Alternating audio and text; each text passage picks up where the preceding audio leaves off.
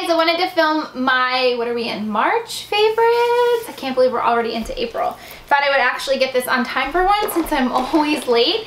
I have in my little poof some favorites that I've had from the last month. A couple of these are associated with the fact that I had a chemical peel gone wrong, you could say. It was the third time that I did it. I've done the same one three times. Never had this happen before. I think she burned me, possibly. I think she left it on for too long and my chin kind of got it the worst. So, long story short, lesson learned. Don't go to a non-medical spa to have these things done. This is the last time that I will be getting any kind of thing other than a normal facial done at places like that. Anyway, a lot of the products that I have to show you are associated with all of that happening. So the first thing has been coconut oil and I just keep this little container under my sink. I have a big jar of it downstairs and I just kind of refill it as I go. This was amazing for a couple different things. I really didn't wear makeup through the process of having this peel done because my skin was drying and peeling off, which is exactly what should have happened.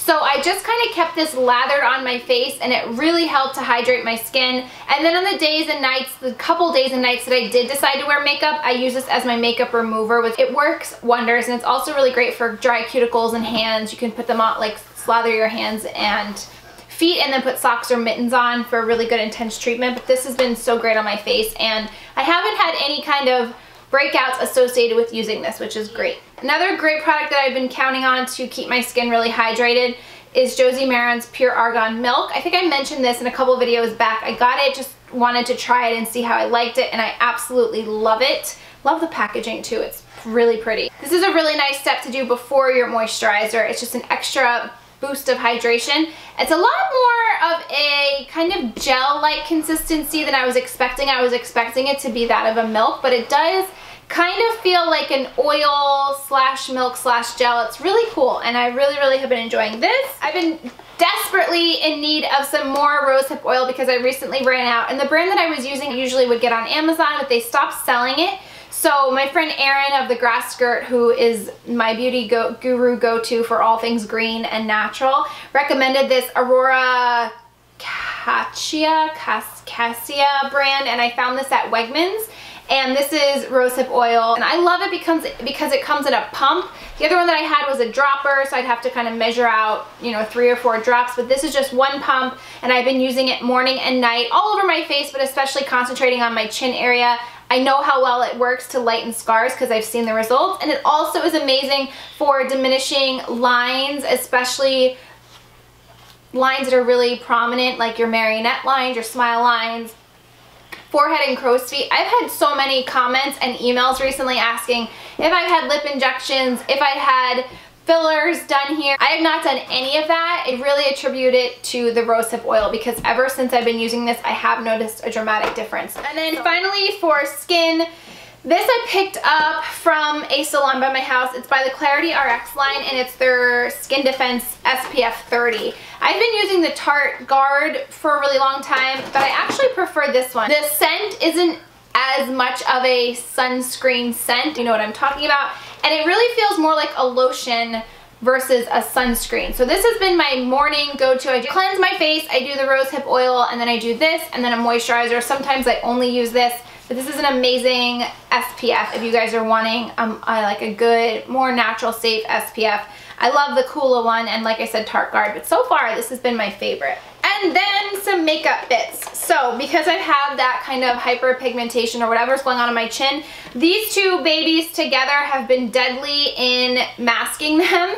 It's the Bye Bye Undereye from IT Cosmetics in the medium shade. This is amazing and really all I need, but for an extra added step, if I really want to cover and make my skin look perfectly flawless, the Dermablend Smooth Liquid Camo. I think I did a get ready with me in a first impressions video. I'll put the links to those below. But this again is a whole makeup line designed for people with scarring, burns, hyperpigmentation, things like that. So I'm so glad that I have this in my collection because it's really been great. So this is in the shade Sepia. I also have Chestnut, which is a little bit too dark for me right now. This is a perfect match. But I apply both of these with my finger and I find that that puts on the best amount of coverage. And I'd highly recommend these if you guys are looking for a really flawless full coverage face. And neither of these have SPF, which is great for photography. This is a makeup brush from Real Techniques, and it's a really pretty silver sleek packaging, but it's exactly like a MAC 217. I love this just for putting in the crease. I've been using just bronzer in my crease recently, and it's perfect. And it's kind of got like a flat belly too if you wanted to pat shadow just on the lid. It's a 203 brush. Really nice, good quality brush. I have a lot of Real Technique brushes, and this is one of their platinum metal collection brushes and the quality of the brush is great. The new lashes, I finally found the Demi Wispies from Ardell. It's so funny, ever since I've been on YouTube, these are the one eyelash that I constantly hear people talk about and I've always had the hardest time finding them but I recently found them in this value pack and what I've been doing is actually cutting them in half and just putting them on the outer part of my eye and I'm wearing them in this video so you can kind of see they're not really dramatic. They're definitely more wispy and they look really natural. And I find applying them as a half lash is way more easy than applying a full lash. You don't have to worry about them irritating the inner eye like I sometimes find. And I just I just like the effect that it gives your eye. Just a really full, bold, makes your eyes pop. And so yeah, those are the Demi Wispies by Ardell. And I think I found this at Target. And the last makeup brush, makeup product that I have is a blush from Marc Jacobs in the shade Reckless. This has been my go-to blush as of late. It's just a beautiful mauve dusty pink. It's kind of a really nice transition color for right now going into spring. Also works as a really great fall color. It kind of has like purpley undertones, so it leans on the more brown side but it's really, really pretty. It's a good, all-natural, I think, universally flattering blush shade for everyone. And then the last thing I wanted to just include this top. I know you guys love when I throw in kind of like fashion bits.